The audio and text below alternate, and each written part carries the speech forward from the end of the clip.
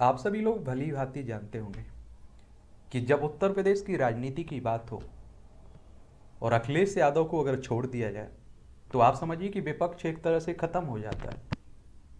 अभी आप जानते हैं कि अगर कोई विपक्ष में दमदार बना हुआ है तो वो है अखिलेश यादव।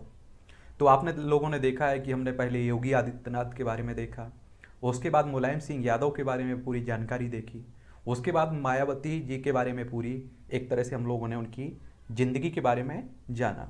आज हम लोग बात करेंगे अखिलेश यादव के बारे में। इनका कहाँ जन्म हुआ है, कहाँ इन्होंने शिक्षा ली है और इनकी राजनीतिक सफ़र कहाँ से शुरू हुआ है। अभी इनकी पोजीशन क्या बनी हुई है और इन पर विवाद भी कुछ खड़े हुए हैं तो उस पर भी हम लोग बात करेंगे। और भी आपके अगर जान में कोई नेता है, अभी उत्तर प्रदेश की बात कर रहा हूँ तो आप लोग बताइए उसकी भी बायोग्राफी कवर करवा दूँगा। ठीक है? क्योंकि आप लोगों को कम से कम आपके राजनेताओं के बारे में मालूम तो होना चाहिए।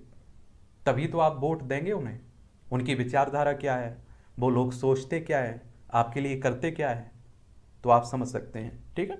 वैसे आप देखेंगे आपके प्रधानमंत्रियों को हम लोगों ने देखा है। और आप लोग समझ सकते हैं कि मतलब आज़ादी के जस्ट बाद जैसे आप देखिए जवाहरलाल नेहरू, लाल बहादुर शास्त्री अटल बिहारी वाजपेयी। यहाँ तक आप देखेंगे काफ़ी अच्छे प्रधानमंत्री दिए। और आजकल आप देख रहे हैं जो प्रधानमंत्री के दौर और राजनीति का दौर, इसमें उस समय में आप देखेंगे ज़मीन आसमान को फ़र्क आपको दिखाई देगा। अखिलेश यादव के बारे में अगर हम बात करें तो आप देखेंगे कि इनका पूरा नाम अखिलेश यादव है। और इनकी आप लोगों ने स्पीच भी सुने होंगे, इनके भाषण भी देखे होंगे। ये इस तरह से घुमा फिरा की बात करते हैं कि आप सोचिए, इनकी बात भी पूरी हो जाती है और जिस पर ये टारगेट जिसे टारगेट पर रखना चाह रहे हैं, वो भी समझ जाता है। मतलब आप समझिए कि बहुत ही एक तरह से बयानबाजी बड़ी समझ सूझ के करते हैं, ठीक है? और इनके अगर हम लोग जन्म की बात करें तो एक जुलाई 1973 को इनका जन्म होता है और इन्हें एक नाम से और जाना जाता है। टीपी, टीपू के नाम से इन्हें जानते हैं, टीपू। और आप लोगों ने मुलायम सिंह एक पिक्चर आई हुई है मूवी बनी हुई है। उसमें देखेंगे आप लोग तो और अच्छे से जान पाएँगे। और इनके अगर हम लोग जन्म स्थान की बात करें तो सैफई जिला इटावा, उत्तर प्रदेश में इनका जन्म होता है। और सैफई काफ़ी चर्चा में भी बना रहता है देश भर में। इनके पिताजी की बात करें तो आप सभी जानते हैं कि मुलायम सिंह यादव इनके पिताजी हैं। जो आप देखते हैं कि उत्तर प्रदेश के पूर्व मुख्यमंत्री भी रहे हैं। ठीक है? और इनकी माता की बात करें तो मालती देवी के पुत्र हैं ठीक है? मालती देवी इनकी माता है। इनकी अगर हम लोग शिक्षा की बात करें तो आप देखेंगे इनकी शुरुआती शिक्षा होती है राजस्थान मिलिट्री स्कूल धौलपुर से। ठीक है? यानी कि मिलिट्री स्कूल से पढ़ाई की हुई है इन्होंने। उसके बाद आप देखेंगे अभियांत्रिकी में स्नातक की उपाधि, मैसूर के S J college of engineering से करते हैं। उसके बाद ये सिडनी, ऑस्ट्रेलिया जाते हैं। और यहाँ से आप देखेंगे कि पर्यावरण अभियांत्रिकी में स्नाकोत्तर यानी कि आप सोचिए, पोस्ट ग्रेजुएट कर ग्रेजुएट करते हैं, ठीक है? और इनकी पत्नी की बात करें तो आप सभी जानते हैं डिम्पल यादव, इनकी पत्नी का नाम है। और बच्चे भी इनके एक बेटा है और दो बेटियाँ हैं। तो बेटी का नाम आप देखेंगे अर्जुन यादव और बेटी है एक का नाम है अदिति यादव, दूसरी है टीना यादव। तो ये भी आप लोगों को मालूम होना चाहिए। और अगर आप लोग अखिलेश यादव को मानते हैं तो कम से कम अपने नेता के बारे में कम से कम आपको थोड़ी बहुत जानकारी तो होनी चाहिए। उनके परिवार की बात कर लें या फिर उनके जो भी ज़िंदगी रही है। और राजनीति में आप लोगों की जब बड़ी दिलचस्पी होती है कि कब पहला चुनाव इन्होंने लड़ा कौन कौन से चुनाव किस तरह से इन्होंने निकाले, इनके शौक भी देख लीजिए। दिलचस्पी क्या क्या है इनकी? क्रिकेट खेलना इन्हें पसंद है, फुटबॉल खेलना भी इन्हें पसंद है, संगीत सुनना भी पसंद है, और पुस्तकें पढ़ना भी इन्हें पसंद है। और फ़िल्म देखना भी इन्हें पसंद है। एक इन पर विवाद फ़िल्म देखने को लेकर रहा है, उसे भी हम लोग आगे बात कर लेंगे। और इनके व्यवसाय की बात करें तो आप सभी जानते हैं कि राजनेता हैं, यानी कि पॉलिटिशियन हैं। और इनकी पार्टी की बात करें तो आप सभी जानते हैं कि समाजवादी पार्टी से ये जुड़े हुए हैं। और उसके राष्ट्रीय एक तरह से सभी कार काम इन्हीं के हाथों में है। एक तरह से आप कह सकते हैं कि पूरी सत्ता की पावर इन्हीं के हाथों में है, किसकी? समाजवादी पार्टी की। ठीक है? उसके बाद देखेंगे आप लोग पसंदीदा नेता। इनके अगर राजनेता रहे हैं तो राम मनोहर लोहिया हैं।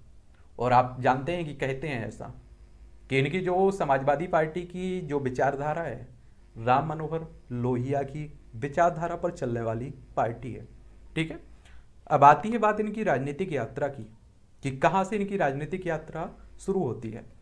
तो सबसे पहले तो आप देखेंगे सन 2000 की बात है। कब की? सन 2000 की बात है। एक उपचुनाव होता है। वह कन्नौज लोक कन्नौज लोकसभा से तेरहवीं लोकसभा के लिए वो चुने जाते हैं। तो आप लोगों को पहले मालूम होना चाहिए कि सन 2000 में ये लोकसभा सदस्य बनते हैं।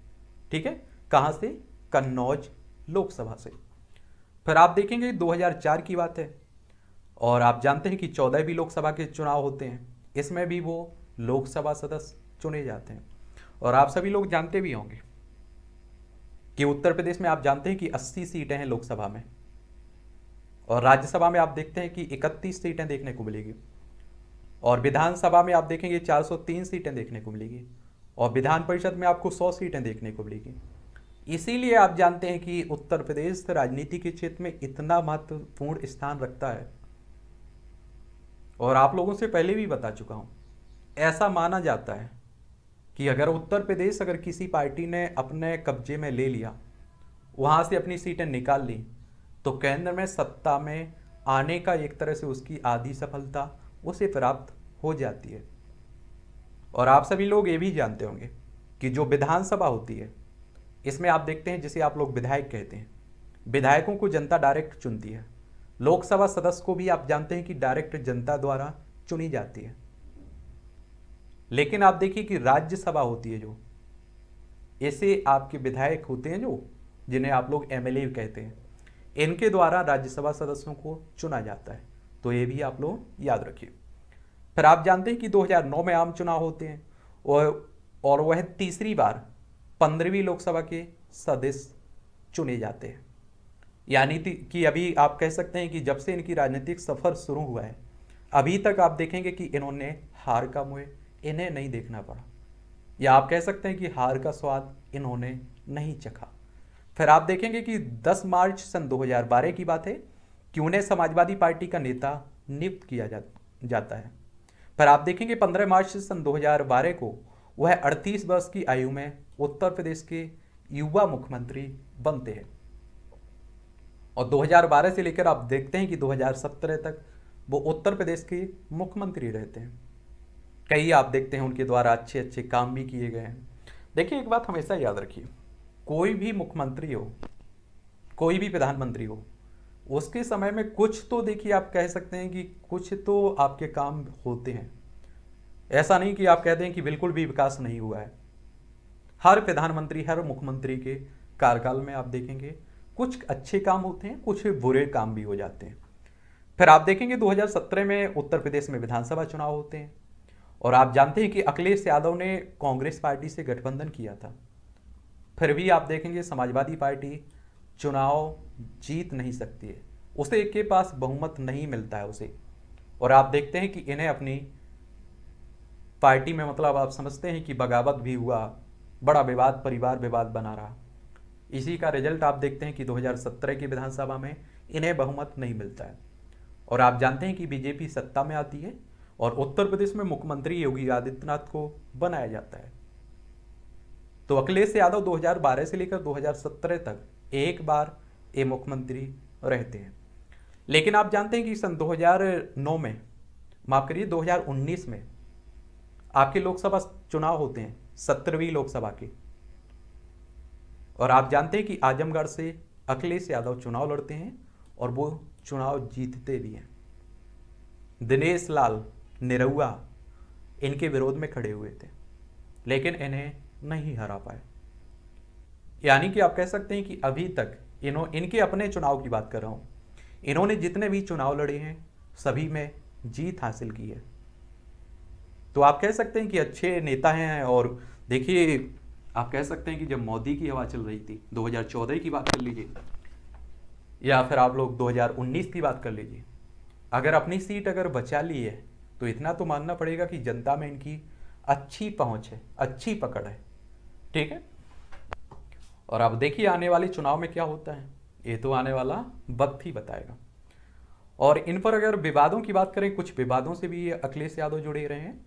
तो आपने देखा होगा 2013 में अखिलेश यादव आईएएस अधिकारी दुर्गा शक्ति नागपाल के निलंबन के कारण विवादों में रहे थे। और कहा जाता है कि इन्हीं ने इनका, एक तरह से इसमें इनका हस्तक्षेप था। सन 2014 में एक विवाद और खड़ा हुआ था। आप लोगों ने देखी होगी, एक बॉलीवुड मूवी आई हुई थी, पीके। इसमें कहा गया था कि जाली कॉपी डाउनलोड करने के और देखने के जुर्म में उनके खिलाफ एफआईआर दर्ज की गई थी, अखिलेश यादव के। ठीक है? और 2016 में भी आप लोगों ने देखा होगा। एक विवाद इन पर और भी रहा है। कैराना के मुद्दे पर मीडिया द्वारा सवाल पूछने पर अखिलेश ने मीडिया पर अपमानजनक टिप्पणी करते हुए मीडिया के खिलाफ अपशब्द कहे, जिसमें उन्हें कड़ी आलोचना का सामना भी करना पड़ा था। तो इनसे जुड़े ये कुछ विवाद भी हैं, और मैंने पहले भी कहा है आप लोगों से कि मतलब ये बड़े घुमा फिरा की बात करते हैं। आप लोग कई इनका इंटरव्यू पढ़े हुए हैं, उन्हें आप लोग देखिए। एक आ, एक आम आदमी इनकी जो एक तर्क देते हैं उसे समझ पाना मुश्किल होता है। किस तरह से नेताओं को ये घेरते हैं इनकी अपनी अलग ही शैली बनी हुई है। ठीक है? तो ये तो है अखिलेश यादव आपके। इनके बारे में अभी आप देखिए कि उत्तर प्रदेश में अच्छी काफ़ी अच्छी अपनी पेट बनाए हुए हैं। एक नाम उभर के आता है आगे हम लोग बात करेंगे जयंत चौधरी के बारे में। एक नया आप देख रहे हैं कि दलित नेता चंद्रशेखर रावण, इनका नाम भी काफ़ी उभर के आया हुआ है। तो कई लोगों ने कहा भी है कि इनके बारे में भी हमें बात करनी चाहिए। तो आने वाले समय में जब भी टाइम मिलता है, हम लोग इनके बारे में भी बहुत अच्छे से बात कर लेंगे कि कम से कम उभर रहा है, जो नया नेता आ रहा है, उसके बारे में मालूम तो होना चाहिए। ठीक है तो मिलेंगे हम लोग आगे।